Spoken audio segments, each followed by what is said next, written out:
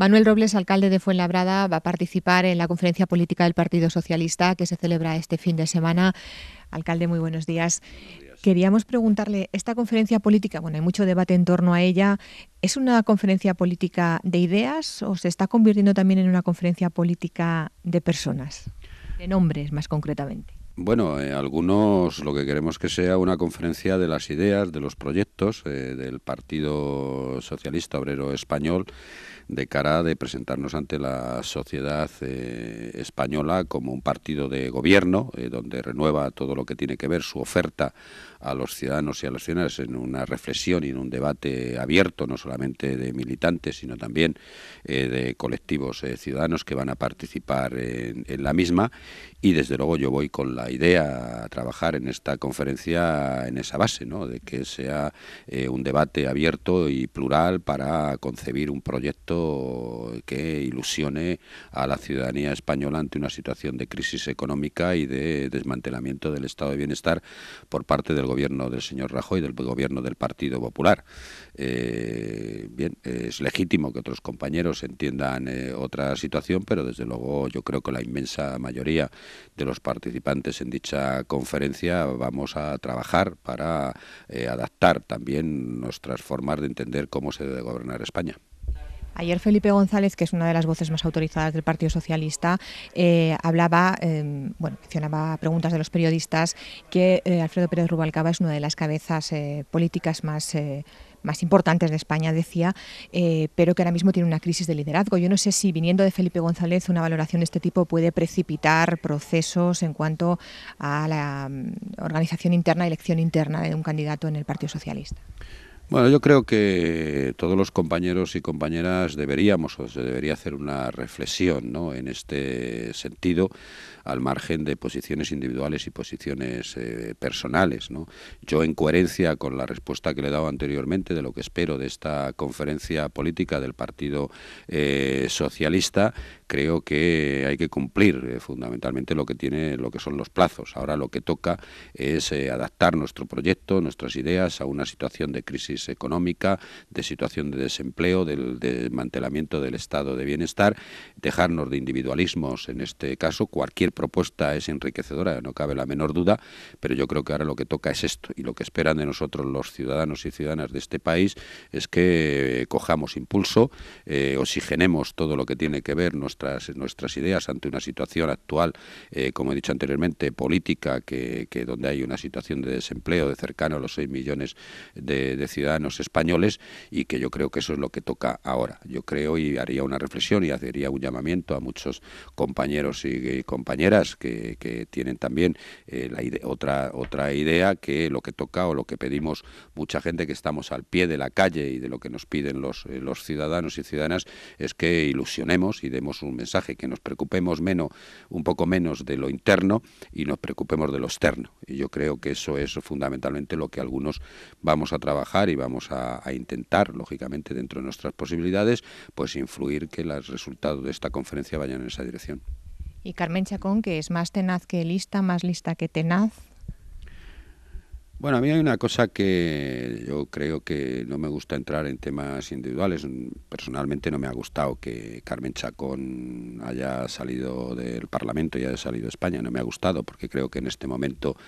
eh, duro eh, para el partido y una situación complicada y compleja, creo que lo que tenemos que hacer es todos estar trabajando a unas para que el partido eh, vuelva a recuperar esa sintonía con la ciudadanía. A mí me parece que el haber abandonado el Congreso de los Diputados y tal, pues no me ha gustado. ¿no? A partir de ahí respeto cualquier posición, posición política, siempre es enriquecedora, pero no cabe la menor duda que ahora lo que toca es el hecho de que hablemos de nuestro proyecto. Es decir, yo creo que toca eso. Ya llegará el momento de hablar de otros objetivos, como puedan ser las, las primarias, puesto que además las primarias están ya decididas. ¿no? Eso es algo que ya es incuestionable. Están decididas en el Congreso de Sevilla, eh, que seguramente si hiciéramos una encuesta eh, entre todos los militantes de este partido y seguramente también dentro de lo que tiene que ver eh, la ciudadanía, pues cada uno tendríamos una fecha eh, en este aspecto. Por lo tanto, alguien tiene que poner eh, un tanto buscando lo mejor para este partido y no cabe la menor duda que esa decisión de la fecha le corresponde al Comité Federal. Y por lo tanto, pues habrá que esperar que el Comité Federal eh, ponga la fecha a través de la propuesta que haga en su momento la Ejecutiva, la Ejecutiva Federal. Hay que cumplir fundamentalmente los ritmos, hay que cumplir los mecanismos que nos hemos dotado, una vez que yo soy partidario de la decisión que se tomó en Sevilla de convocar unas primarias abiertas a estilo del modelo del Partido Socialista francés, donde puedan participar no solamente los militantes, sino aquel que ciudadano o ciudadana que nos quiera acompañar en un proyecto social de cara a la ciudadanía y bueno, pues eh, yo espero y deseo que no la conferencia no se convierta en las fechas, ¿no? Porque seguramente si vuelvo a repetir, si hiciéramos una encuesta, cada uno es como como esto como los equipos de fútbol, cada uno tiene o las selecciones, cada uno tenemos nuestra selección, ya tocará el momento. ¿Qué es lo que está fallando? ¿Qué está ocurriendo cuando en España hay una fuerte crisis? Eh, mm, grandes recortes del gobierno del Partido Popular, medidas también bastante impopulares en muchos asuntos eh, que está tomando el gobierno. ¿Por qué el Partido Socialista no consigue remontar en intención de voto? Bueno, yo creo que hay muchos factores en este en este momento, ¿no? Es decir, es el hecho de que el Partido Socialista, pues lógicamente nos tocó gobernar unos momentos muy duros, ¿no? Es verdad que quizás no estuvimos un tanto atentos a lo que se venía con lo que es la crisis eh, económica en ese aspecto, pero lo mismo que tampoco estuvimos atentos nosotros, tampoco estuvo atento el Banco Central Europeo, ni estuvo el Fondo Monetario Internacional, ni estuvieron otros países, ¿no? Fue algo que, surgió y que muchos analistas políticos tampoco podía, preveyeron en ese, en ese momento. Yo creo que eso todavía tiene pues eh, un pozo en lo que es la, la ciudadanía y realmente pues nos está costando. Pero yo tengo confianza porque el Partido Socialista Obrero Español se ha levantado siempre en los momentos más duros y además hay que trasladar a la ciudadanía que la única alternancia real eh, de gobierno por la izquierda en este país es el Partido Socialista, ¿no? Eh, por lo tanto, yo tengo confianza en que los, el partido pues eh, recupere esa sintonía con la ciudadanía si somos capaces en esta conferencia pues de articular un mensaje y un proyecto que vuelva a ilusionar. Eh, después el tema del liderazgo ya tocará. Vale, y para terminar, eh, sé que usted va a participar en algunos de los talleres que están previstos para elaborar esas propuestas políticas de cara al futuro y en esos talleres va a hablar de iniciativas, algunas pioneras que se están haciendo en Fuenlabrada. Resúmanos un poco qué va a trasladar. Bueno, eh, voy a participar en dos eh, áreas de trabajo, es decir, por llamarle así, que una es el tema de lo local, lógicamente de dar la opinión que ya vengo expresando durante mucho tiempo respecto a este riesgo que en este momento hay en nuestro país de que la reforma local que plantea el Gobierno de España sea una regresión y una invasión de las competencias de los ayuntamientos, que repercute en la ciudadanía a través de los recortes eh, que plantea en cuanto a competencias a los ayuntamientos en políticas tan importantes como puedan ser los servicios sociales, como pueda ser todo el tema de educación, eh, de aquellas acciones complementarias que algunos ayuntamientos venimos eh, realizando, aparte de otros, de otros temas que también figuran en esa reforma y que son perjudiciales para lo que es la, vida local de, nuestro, de nuestro país. Voy a participar en primer lugar en ese panel de trabajo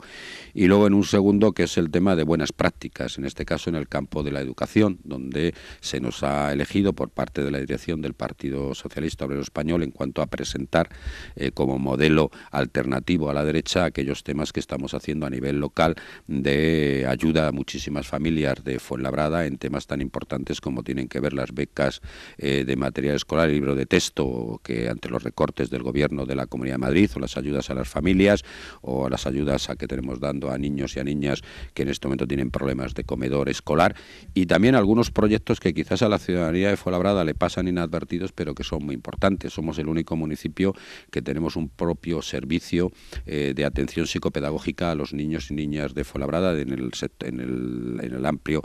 tema de primaria y que atendemos con dificultades escolares acerca de 500 niños y niñas de nuestra ciudad todos los cursos escolares, ¿no? Es decir, así, así como otra serie de proyectos que venimos realizando y que yo tengo que agradecer, lógicamente, a la dirección del partido, pues que haya elegido Fuenlabrada para ese, presentar esas buenas prácticas de gobierno en el campo de la educación.